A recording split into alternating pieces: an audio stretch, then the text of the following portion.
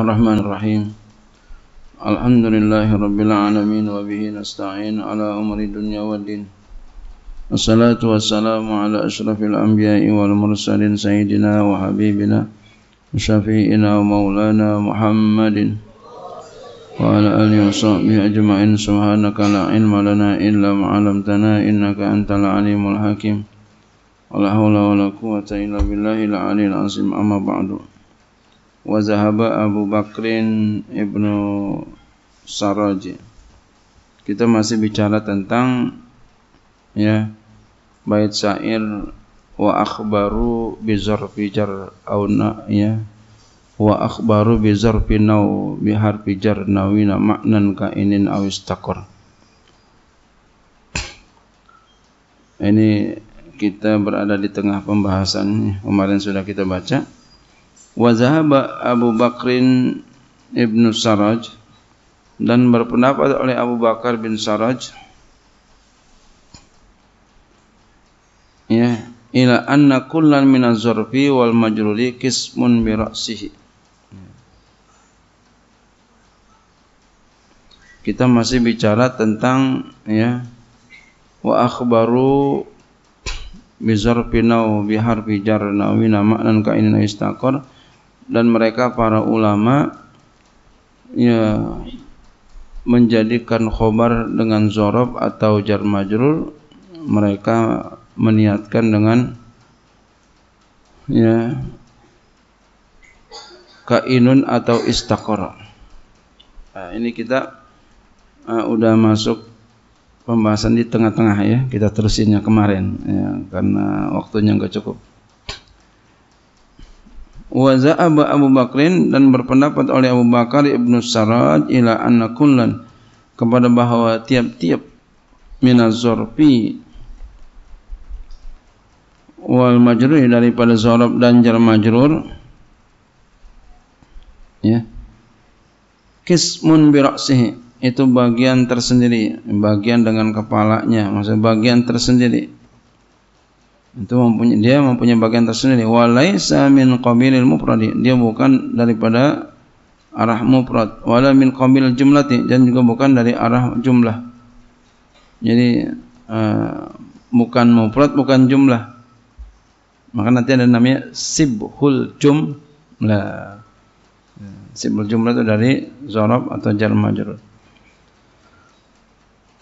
naqala anhu hadzal madhhaba talmizuhu itilmizuhu Abu Ali al-Farisi fi Syairazi fi Syairaziyati telah mengutip daripadanya akan ini mazhab oleh muridnya yaitu Abu Ali al-Farisi dalam kitab Asy-Syairaziyat iya. Ada kitabnya Asy-Syairaziyat wal aku khilafu hadzal mazhabi. Yang benar adalah bersalahan ini mazhab. Wa annahu muta'alliqun bi dan bahwasanya dia muta'alliq dengan yang dibuang. Wa zalika ma'zubu wajibul hazbi. Dan demikian itu yang dibuang itu wajib dibuang. Waqad suri abihi suhzan dan sungguh telah dijelaskan dengannya hal keadaannya saz maksudnya jarangnya Kakauli seperti perkataannya lakal izzu in maulaka azza wa iyahun fa anta lada bi ya buh ya buh buhatil hunika inu jika penolongmu mau menolongmu niscaya bagimu kejayaan dan jika dia menghinamu niscaya kamu berada dalam kehidupan yang bergelimang kehinaan karena enggak ditolong ya. Jadi kita itu perlu ada yang nolong. Ya. Walau manusia yang tolong, hakikatnya Allah yang tolong. Jadi minta tolonglah kepada Allah, nanti makhluk akan nolongin kita. Wa kama yajibu asbu amili zarfi wal jari wal majruri idza waqa'a khabaran. Dan sebagaimana wajib membuang amil zorob dan jar majrur apabila jatuh keduanya menjadi khabar kadzalika yajib hasbu idza waqa'a sifatan. Seperti ini juga ya, wajib membuangnya apabila jatuh keduanya menjadi sifat. Nahu sumpama nuharatu birajulin indaka au fidari. Aku lewat dengan seorang laki-laki di sisi engkau. Ya. Au fidari atau di rumah. Au alan atau irob menjadi al. Ya, idza waqa'a halan. Nahu sumpama maratu bi Zaidin au fidari. Aku lewat dengan Zaid. Ya, maksudnya ya au dari aku bertemu Zaid ini aku bertemu Zaid.